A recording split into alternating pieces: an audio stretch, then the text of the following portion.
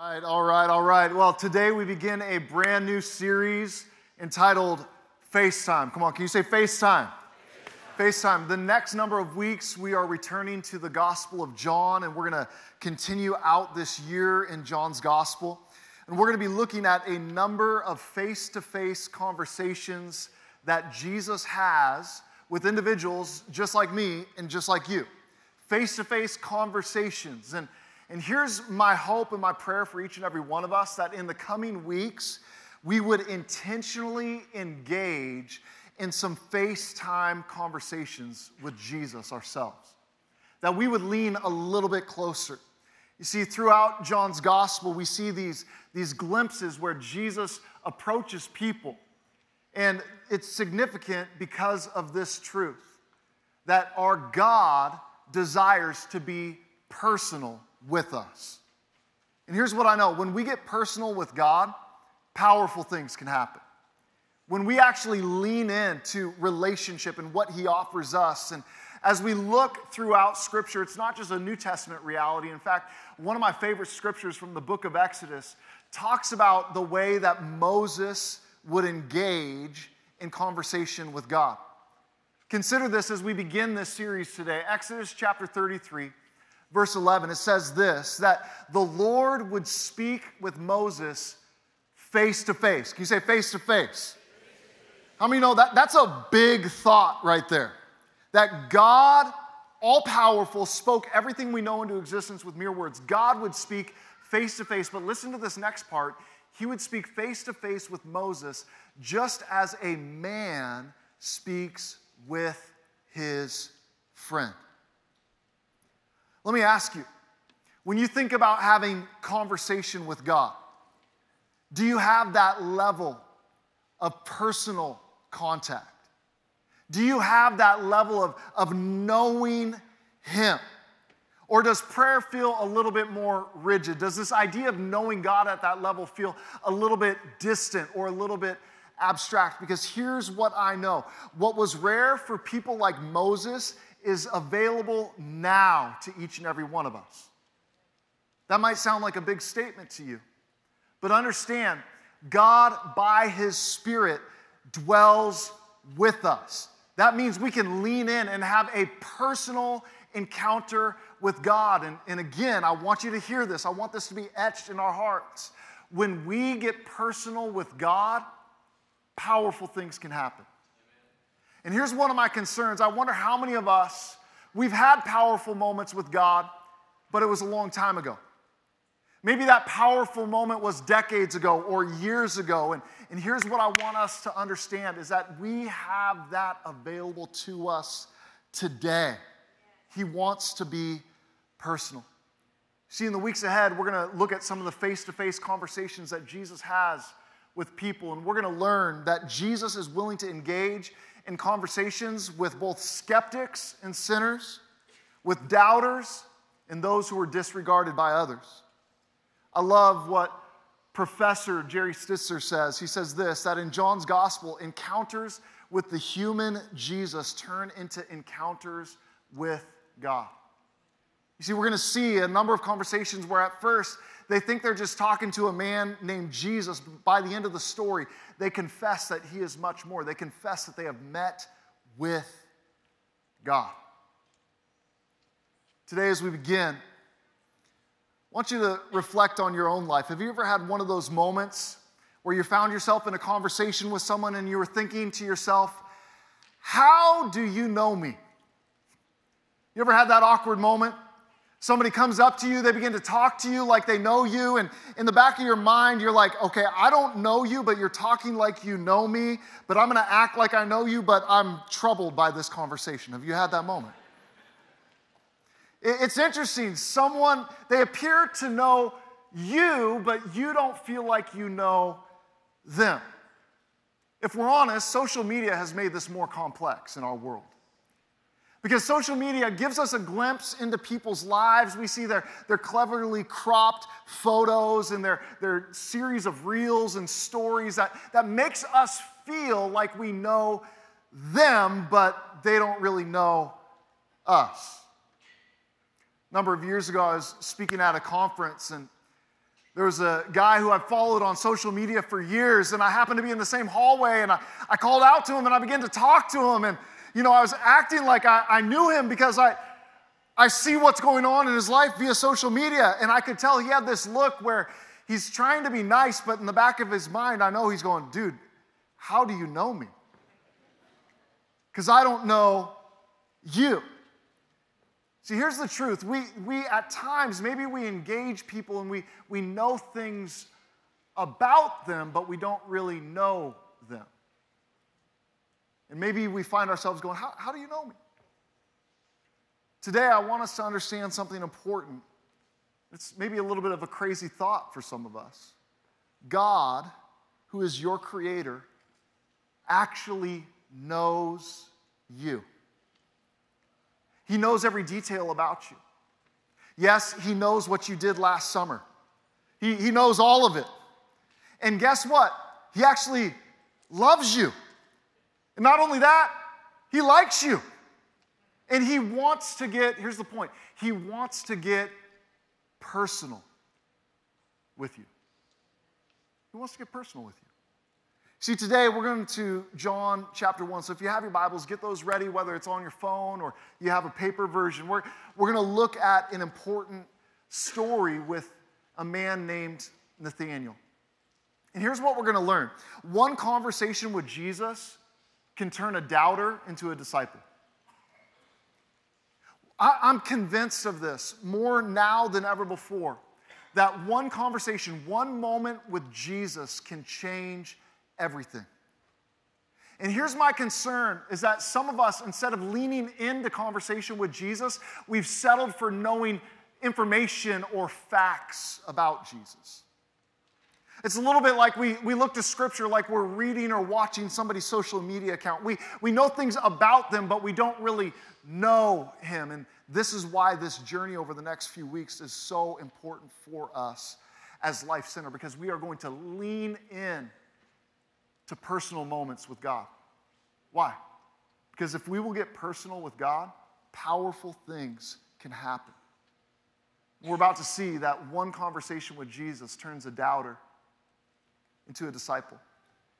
In John chapter 1, we see Jesus beginning to call disciples into a journey with him. Look with me to John chapter 1. We're going to start in verse 43. It says this The next day, Jesus decided to leave for Galilee. He found Philip and told him, Follow me. Can you say, Follow me?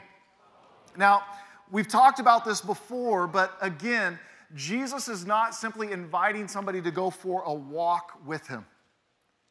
He's not lonely, he's not bored, he's not looking for companionship. This idea is an, an, invitation from a rabbi, from a teacher to say, Walk behind me, keep in step with me, begin to pattern your life after me. Jesus says, Follow me. Now, Philip was from Bethsaida, the hometown of Andrew and Peter. And Philip found Nathanael and told him, We have found the one Moses wrote about in the law, and so did the prophets, Jesus, the son of Joseph from Nazareth. Philip's excited. Why? Because they realize Jesus is the Messiah. Both the Old Testament law and prophets said there would be one who would come who would be the anointed one, the Messiah, who would actually bring freedom and hope to the people of Israel. They realized Jesus is this person. But much like our modern day, people back then could not accept the fact that exceptional people might come from ordinary places. It was incompatible. Philip's so excited, he says, Guess what? We found Jesus. He's the son of Joseph from Nazareth. And, and listen to Nathanael's response Can anything good come out of Nazareth? He's a doubter. How many you know there's people in our world right now when they think about the church? Can anything good come out of the church? Can anything good come out of an organization like that? I've had multiple conversations with people as I've been traveling a little bit the last number of weeks, and when they hear I'm from Tacoma, they kind of look at me with a little bit of a similar attitude. Tacoma? Can anything good come out of Tacoma? I mean, no, there's this stigma, there's this perspective of, of the West Coast. That somehow God has left the West Coast and now he just resides in the middle of America. And it's almost like there's this ideal, like Tacoma, the West Coast. Can anything good? And, here's what I want to remind you God is in the midst of his people. And where God shows up, powerful things can happen. And here's a doubter who's looking at this statement from Philip saying, Nazareth, important people are supposed to come from important places. But little did Nathanael know that although Jesus grew up in a town called Nazareth, he was the one born in the city of Bethlehem, fulfilling the prophets, fulfilling the very thing that God had promised his people. Can anything good come out of Nazareth? I love Philip's answer. Come and see. Come on, that's a good answer right there. What I love is that Philip did not feel the need to try to defend Jesus. Like, well, you're not from an important place either. He doesn't resort to, to throwing verbal bricks back. He simply replies with a three word invitation. And by the way, this is good news for each and every one of us. And this is what I want you to know today. Because some of you, you've been following Jesus for a long time. Others of you, you're here trying to figure out what's what in your life. And today, my job, my assignment is not to try to convince you. My job is not to try to somehow argue you into believing something. My job is to simply say this come and see. Come and see. Because if I can argue somebody into faith, guess what? They can be argued out of it. But I've encountered Jesus myself, and I know he's real. I know he's alive. He's met me in the dark moments of the night. He's met me in places of despair, and nobody can argue or take that away from me. And so, all I offer to each and every one of us is this come and see for yourself. Come and see. Then Jesus saw Nathanael coming toward him and said about him, Here truly is an Israelite in whom there is no deceit. Thanks, Jesus. But what's the significance of Jesus greeting a man who he has not yet met with that type of greeting? Well, to understand this, you have to go back to the book of Genesis. There was a man named Jacob. Abraham had Isaac, Isaac had Jacob and Esau. Jacob was the one who carried the promise of the covenant. Jacob's name would later be turned to Israel, the father of 12, who would become the 12 tribes of Israel. What's interesting about Jacob, before his name was changed, the word Jacob means this deceiver, heel grabber, trickster. And Jesus says, Here is a true son, as Nathanael is walking towards, here's a true son of Israel in whom there is no deceit. In other words, guess what? You are different, you are truthful. Goes on. How do you know me? I love that question.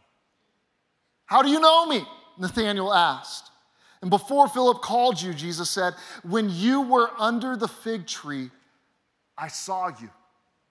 Rabbi, Nathanael replied, You are the Son of God, the King of Israel.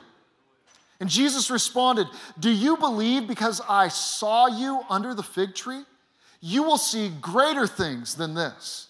Then he said, Truly I tell you, you will see heaven opened and the angels of God ascending and descending on the Son of Man. Again, in the Old Testament, in the book of Genesis, Jacob, whose name is changed to Esau, falls asleep at a place called Bethel. And he has a vision where heaven is opened and he sees this ladder or this stairway to heaven where the angels are ascending and descending. Jesus is letting Nathanael know guess what? What Jacob just saw from a distance, you are going to see in full reality. See, the good news for each and every one of us today is this Jesus came to erase the gap between where we are and where we're meant to be. Jesus, he wants to erase that gap. He, he sees this man named Nathaniel who's a doubter. That's where he is, that's where life is being lived. And he says, Listen, I, I see where you are, but, but there's so much more. I want you to be my disciple. And it's one face to face conversation, it's one come and see moment that changes everything for Nathaniel. See, I'm convinced one conversation with Jesus can change everything. Instead of just having information or stories or stats or data about Jesus, you can have the real thing. Jesus came to erase the gap. You see, today, where I am, I know that I'm a man broken by sin, but where I'm meant to be is bound up in the mercy and the grace of Jesus. Maybe that's your story. Where you are today, you might be anxious, worried, or worn out, but where you're meant to be, you're meant to be at peace. You're meant to be confident in an everlasting hope, not that you produce, but that you receive. Maybe today, where you are, you're driven by fear, but guess where you're meant to be? You are meant to be filled with faith. Today, maybe you find yourself intoxicated by the illusion of control. That somehow you, you can control the outcome of your life. That, that if you just work a little bit harder, try a little bit more to be a little bit better, that things will tilt in your direction. And I can't tell you how many people I meet. We're intoxicated with that illusion that somehow we can control this thing called life. But guess where we're meant to be? We're meant to be filled with the power of the Spirit, knowing that God is the one who's in control. See, Jesus has a desire for each of us today, and what is that? It's transformation. It's not just information. So maybe you, you came today, maybe you're tuning in today, and you're, you're just looking for some information, you're looking for some inspiration. But today we need to understand Jesus offers us so much more. He, he actually desires transformation in our lives. What that means is Jesus cannot ignore the purpose that he gives us in his grace and the potential that he gives us in his grace. He wants to transform your life. What this means is that faith in Jesus that doesn't change you should cause you concern. If you have a faith in Jesus, but your life has not changed, that should cause you concern. Why? Because Jesus is interested in transforming you. And maybe all of your transformation was, was decades ago. You remember when you raised your hand, you prayed the prayer, maybe you walked forward in a church service, but that was the last time you experienced change. Can I remind you that there's an invitation to get personal with God. And when we get personal with God, powerful things can happen. When was the last time that, that there was a shift inside of you? When was the last, last time that you encountered God in such a real way that parts of your attitude change, parts of your character change, parts of your appetites change, parts of your, your words changed? See, grace, grace is amazing, is it not? Unearned, undeserved favor. But understand, grace doesn't just get you in, grace also grows you up. In other words, it, it changes you. Every day I watch my kids, we have three teenagers now, and, and I watch them change day after day after day. And in a very similar way, as followers of Jesus who are encountering and living in a relationship with God, we are called to be transformed. Amen? Scripture says God's people go from strength to strength, from grace to grace. Understand, he, he loves you without a doubt. But the Master, He will never be satisfied until we look like Him, reflect Him, and reveal Him in our lives. So it's a time to come face to face with Jesus for you. I love this question that Nathaniel asked How do you know me? And I wonder how many of us we, we would have a similar response as we create room for God to, to begin to impress on us. We ask that question God, God, how do you know all these details? How is it that you see all of this stuff? You see, just like Jesus saw Nathanael, Jesus sees us, He, he knows us. He sees your purpose, what you were actually created to be, not just what you currently are. He also sees your potential. Again, not just where you are, but where you can be in His grace and mercy working in your life. And so today, I, I want to make a powerful application and a personal application from this because, again, when we get personal with God, powerful things can happen. So here's first a personal truth Jesus, He sees you and He knows you before you seek Him out. Today, some of us, we're convinced that, that if we just try a little bit harder, if we draw a little bit closer in our own strength, that somehow we are the solution, we are the source to our breakthrough. But understand, Jesus, he, he already sees you and He already knows you before you ever took a step in His direction. As we looked at these few verses today in John chapter 1, three different times we saw this word found. The question that we have to ask is who is actually finding who? Philip's convinced he found Jesus, but as we look at the story, Jesus actually found Philip. Nathanael thinks he's finding, but no, it's Jesus finding Nathanael. Who is finding who? I, I love that Philip, in the midst of all of Nathanael's questions, in the midst of his doubts, he gives him three words Come and see. Come and see. See, these three words should provide some relief for those of us who have ever felt the weight that it's our job to convince somebody of Jesus. How many of you have ever engaged in that argument, trying to convince somebody? Some of you guys, you've, you've gotten in yelling matches online via Twitter or Facebook or whatever. And here's, here's the challenge if you can argue somebody into relationship with Jesus, somebody else can argue them out. And so this should lift a burden off of our back because all our response should be to people come and see. Man, you believe in that whole God thing? You believe in the church? You believe that Jesus is actually alive? Come and see. But you'll never say come and see unless you've experienced it yourself. See, this is the danger. So, some of us, we, we've settled for stories and information like, like watching the social media from a distance instead of knowing the real thing ourselves. But, friends, capture this God is willing to get personal with you.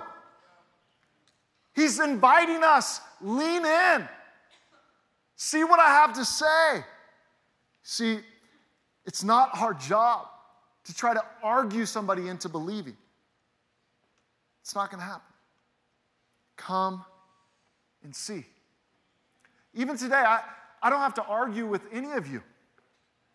Why? Because I've experienced it myself. I've seen how God has worked in my life. I, I've seen how grace meets me. I've seen the goodness and the faithfulness of God. Nobody can take that from me. And here's what I want you to know you can live with that same conviction, that same belief, that same hope, that, that same trust. But we got to be willing to lean into some FaceTime moments with Jesus. See, Jesus, he already saw and he already knew Nathanael before Nathanael ever took a step in his direction. In theology, there's some important words. Maybe you've heard these, but I think they're helpful for us as we wrap our hearts around this idea hey, God actually sees me and knows me. How, how is that possible? Well, theology, in other words, as we look through the whole course of Scripture, we, we learn some things about God. Number one, that God is omnipresent. In other words, God is everywhere. How many know that's really good news? Or it's really bad news, depending on how you want to read that. God is everywhere. Here's what I know even though there's, there's opposition in our lives, there's very real demonic forces at work. Guess what? There's no demon that can be everywhere at once. Even the devil cannot be everywhere at once. Only our God is everywhere at once. Friends, that's important truth for you to hold on to. Not only is God omnipresent, but he's omnipotent. In other words, he's all powerful. Here's what I know I'm not all powerful. And I hate to break it to you today. Guess what? You're not all powerful. Only God is all powerful. But not only that, your God is also omniscient, He is all knowing.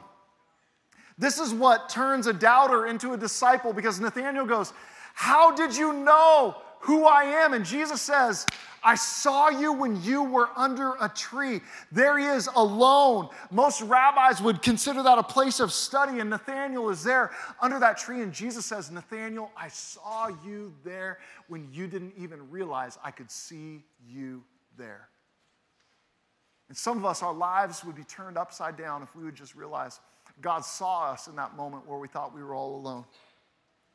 God saw us when everybody else fled from our lives. God saw us and He was with us, and He's been waiting for us to just simply lean in to relationship with Him. Understand, He saw you and He knew you before you ever moved in His direction. Here's, here's a powerful truth. That's the personal truth. Here's the powerful truth is that Jesus has more for you. Jesus has more for you. I love what Jesus tells Nathanael in verse 50. He says, Nathanael, if this amazes you, guess what? You're going to see even greater things. What's he referring to? Well, again, he, he made that play on words about how he is a true Israelite in whom there's no deceit. You see, unlike Jacob, Nathanael, there's, there's something distinguished in his life. There's something set apart in his life. And Jesus goes on to say, Nathanael, the very thing that Jacob saw from a distance, you are going to have a full revelation of. He goes back to the story where Jacob has this vision of heaven and earth overlapping. And Jesus says to Nathanael, Guess what? I'm not just telling you about the ladder to heaven, I am the ladder to heaven. I am the way. I am the source. Nathaniel, you're going to see the full reality of this. Jesus doesn't just tell us the way to heaven, friends, he declares he is the way to heaven. We lean into him, we trust him. And there's so much more that Jesus has for us than simply kind of floating in and floating out once every seven days. There's so much more that he wants to reveal to you. This is why he came, friends. He came to erase the gap between where we are and where we are meant to be. He's still moving doubters to become disciples. And yet it all comes back to this place. Will we become personal with God? He welcomes it. I think that's why communion is such an important rhythm in our lives as followers of Jesus. Christians from the very beginning, we read in the book of Acts that they instituted this as Jesus called them to do, to come back to the Lord's table again and again to remember that we serve the God who came to erase the gap between where we are and where we're meant to be. That's what communion declares. And so today, we are going to set aside just our closing moments together for this sacred act and this sacred response of remembering the Lord's death and his sacrifice, but also remembering his resurrection. So today we're going to partake of communion together. And today, if you didn't receive communion elements, would you raise a hand because our ushers want to make sure that everybody has communion elements so that we can partake together today? For those who are worshiping with us at home, I want to encourage you to grab something that you can, in this moment, participate with us. In a moment, we're going to partake of these elements together. But before I do, I did this in our early gathering. I'm going to do this in this gathering. I'll do it in our next gathering as well. But maybe you're here today And you need to be reminded that even before taking communion, of this important truth that this only becomes powerful when it's become personal. See, communion is this reminder that, that God sees us and that God knows us. He knew our inability, He sees our brokenness. And so He clothed Himself in humanity. He became one of us. He died in our place, taking the punishment that we deserve. And yet He defeated death and sin and the grave. And today, friends, the grave is empty. Jesus is alive. And that is our hope. We rejoice in that. We rest in that. Communion is this declaration as well, though, that, that God has more for me. More than just what you're experiencing right here, right now. Friends, there is eternity with Him that is guaranteed. Amen. There's more than just right now. So you might be in the most discouraging moment of your life. Guess what? As you partake of this bread and as you drink of this cup, you are prophetically declaring over your situation this is not the end. Come on, I'm praying that the church would wake up and lean into the fact that God is moving, God is alive. I don't care what the rest of America says. Tacoma, can anything good come out of Tacoma? It can because God is in the midst of his people. And he calls us to be witnesses of that truth. So do not miss the significance of this moment. Today, it must become personal. And when we get personal with God, guess what? Powerful things can happen. I've been praying for you this week that some of us, we would have a personal encounter with God today, face to face. If it can happen with Moses, guess what? It can happen with us. We live on this side of the new covenant. That's what we are about to remember and declare. That we have access to God, not because of our activity for Him, but because of what He's done for us. Yet today, some of us, we need to make this personal. So I'm going to invite us quickly to simply bow our heads for a moment. If you're in this room and you know that you need to make a personal decision to dedicate your life to Jesus, that your sin would be forgiven, that your debt would be paid, you want to make him king and Lord of your life today. If that's you, can I invite you with a simple response just to raise a hand? Just hold it up for a moment. Say, Yep, that's me. That's me. Yeah, yeah, yeah, yeah, yeah, yeah, yeah, yeah.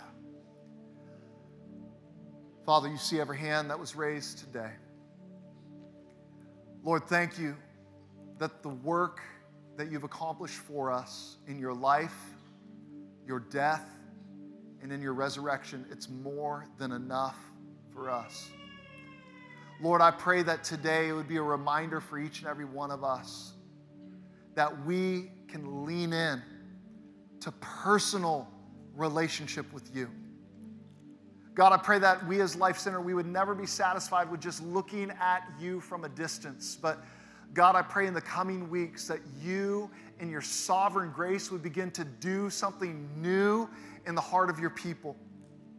Jesus, you desire to transform us. And I pray for those who maybe it's been a while since anything has changed in their lives. God, may we be on a collision course in the coming weeks with your presence and your power working in our lives. God, we want face to face moments with you. God, would you transform us? God, I thank you for friends who raised a hand. Thank you that if anyone is in Christ, they are a new creation. The old is gone and the new has come. Communion is the great declaration of that reality, and we thank you for it. I invite you to peel back that first layer today and grab that wafer of bread, hold it in your hand. Scripture says that on the night that Jesus was betrayed, he shared a meal with his friends. He took bread and he broke it. He gave it to his disciples. He said, This is my body, which is given for you. Do this in remembrance of me. So today, as we partake of the bread, understand we are declaring, we are remembering that Jesus, He gave His body, He laid down His life for us. Lord, as we hold this bread, we want to say thank you. Thank you for loving us, not just with words, but with your life. Thank you for living the life we couldn't live. You died the death we all should have died. But you rose again. And today you are alive. And Lord, as we take this bread, we remember your words that you declared, You are the bread of life. Lord, today we find the source and the solution for every craving in our life. It's found in you. You are the source, you are the solution. We thank you for it. Let's go ahead and partake of the bread.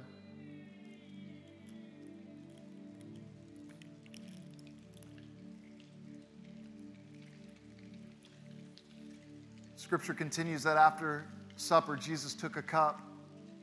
He said that this is a new covenant confirmed in his blood.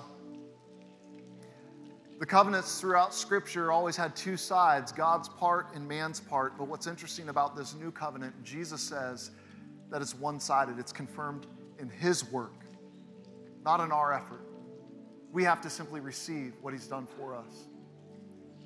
That's why, as we declare and we remember the blood that was shed for us, understand we are recipients of a new and greater thing. We have access to God. Life Center, I want to encourage you this week and the coming weeks don't stand at a distance when you can get personal with God because of his blood that's made a way for you. Jesus, thank you for your blood that was shed for us. We remember the scripture that says, though our sins are like scarlet, we're stained, we've been washed clean like fresh snow. Lord, I thank you that your word reminds us that we stand before you today as without a single fault, not because we have done everything right, but Jesus, you did everything right on our behalf. And out of that, we want to live lives that respond to your goodness. So, Jesus, our prayer today, continue to transform us, continue to change us. Lord, speak to us. Remind us that you see us. Remind us that you are calling us up to greater things. Lord, I pray that we would not be content with where we've been, but Lord, that we would lean into all that you have for us. Thank you that your blood makes a way for us. In Jesus' name, let's go and partake.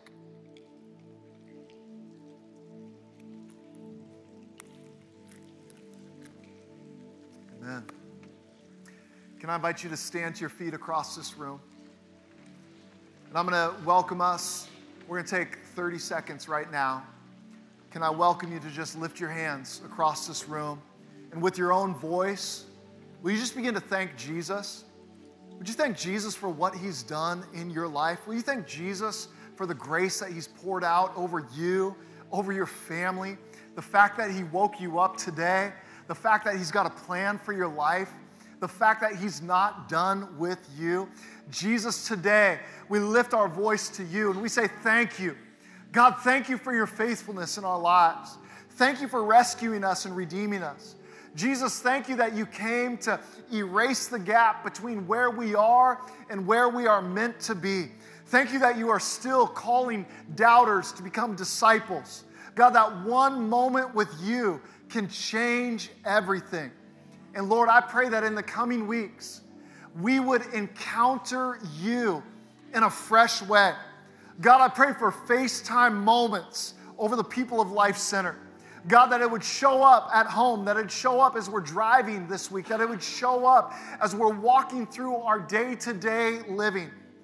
God, would you remind us that you desire to continue to change and transform us to look more and more like Jesus? God, we surrender to you. Pray that you go with us this week, strengthen us this week, watch over us this week. And God, as we come back next Sunday, I pray that we would walk into this house full of faith and full of expectation of what you want to do in our lives. But God, let us not keep it with ourselves.